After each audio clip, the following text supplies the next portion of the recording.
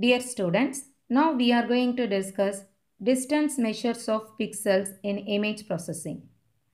So distance measure is an important concept here because by analyzing the distance between two pixel values, we can easily get the information about the shape and position of the foreground pixels relative to each other.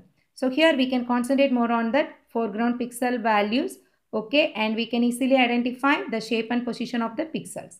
So here we can consider two pixels A and B. Here the coordinates of A is x1 comma y1, the coordinates of B is x2 comma y2. We can easily measure the distance between these two pixels using three methods. One is Euclidean distance method, the next one is city block distance, the third one is chessboard distance method.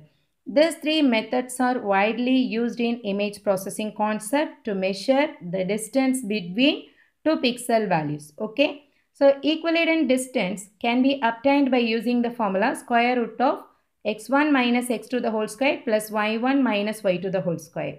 So here we can get the straight line distance. We can simply say the Euclidean distance is a kind of straight line between two pixel values. The next one is city block distance. So in this method, we are going to consider four connected neighborhood pixels. So here we are going to consider this four pixel values. Okay, so, so here we can take the distances as modulus of x1 minus x2 plus modulus of y1 minus y2. Okay, the third one is chessboard distance. So here we are going to consider all eight neighboring pixels. Okay, so in this chessboard method, we are going to take the modulus of the difference between two pixel coordinates and from this values, we can consider only the maximum value. Do you all understand this one? So while solving the problem, you can easily understand these three formulas.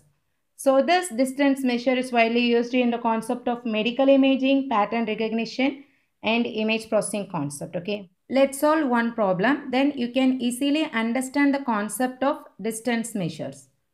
Let P and Q be the pixels at coordinates 10, 14 and 15, 20 respectively.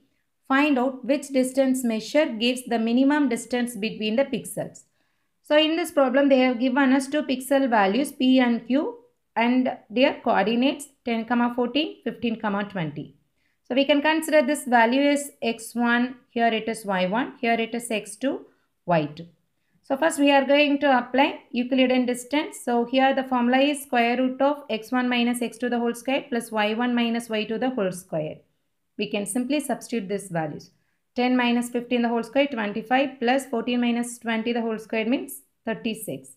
Correct? So square root of 61 is equal to 7.81.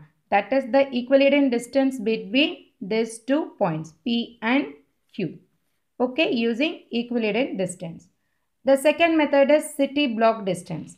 So in this method, we can apply the formula modulus of x1 minus x2 plus modulus of y1 minus y2.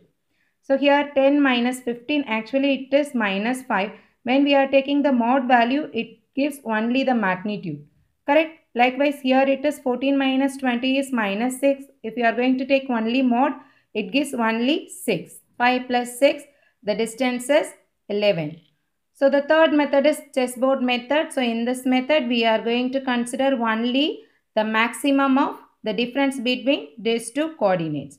So maximum of mod of x1 minus x2 comma mod of y1 minus y2.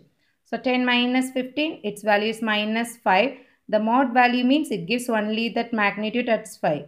So here it is minus 6 mod means we can get only 6. So what is the maximum of these two values? It is 6.